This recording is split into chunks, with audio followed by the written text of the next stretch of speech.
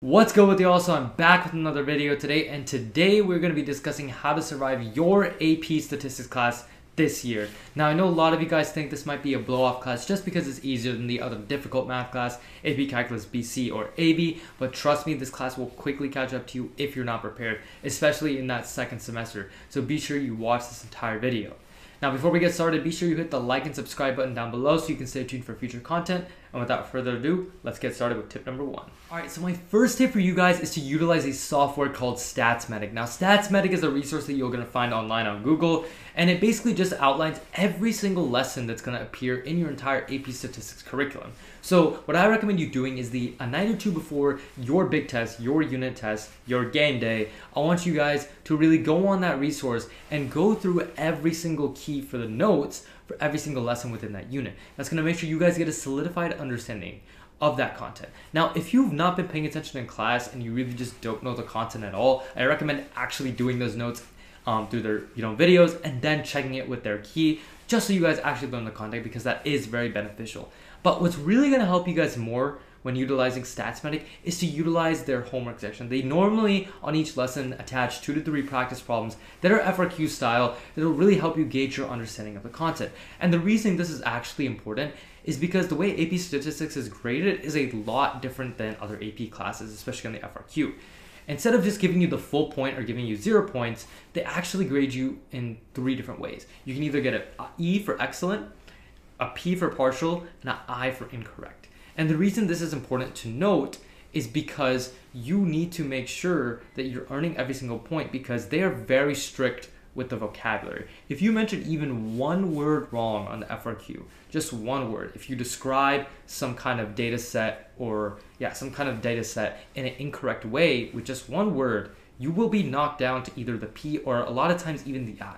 So it's really important that you go through these FRQs, do them, and then check them with the key and make sure you're not missing those things by one word or two words or whatever it might be. Make sure that your description is as close to the key's description as possible. My second tip for you guys is to watch a YouTuber named Mostly Math with Ashley. I know she definitely carried my grade throughout that entire course, so I highly recommend you watch her videos. And the reason I recommend those videos is because a lot of times the StatsMedic resources are very simplified and it won't get you through all the content you need and there simply isn't enough practice.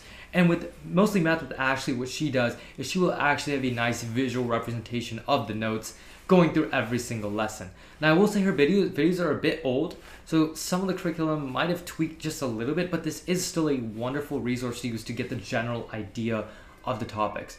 So again, the night or two before the test, I highly recommend you go through her videos and just make sure you're understanding all the topics. And I highly recommend that you only use her resource for topics that you truly don't understand. Maybe you weren't paying attention in class and you don't know a specific uh, concept, so please look at her videos in those cases or if you're really struggling with a concept that you can't understand, definitely watch our videos. Last tip for you guys is to do practice questions on Albert.io's AP Statistics question bank for every single unit and lesson.